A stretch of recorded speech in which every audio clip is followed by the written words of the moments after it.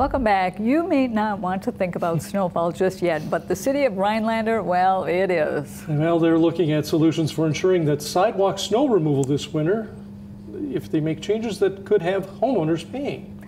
News 9's Jimmy Sadowski in Rhinelander with what officials are now considering. The next time the Hodag here is covered in snow, the city could be using your tax dollars to clean it off.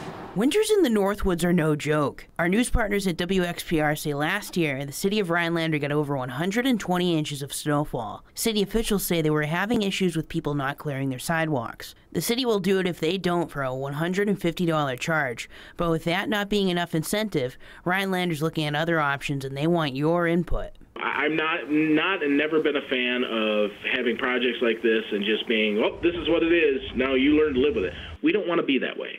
We want to involve the citizens, um, the residents, especially those who are going to be, you know, impacted by this.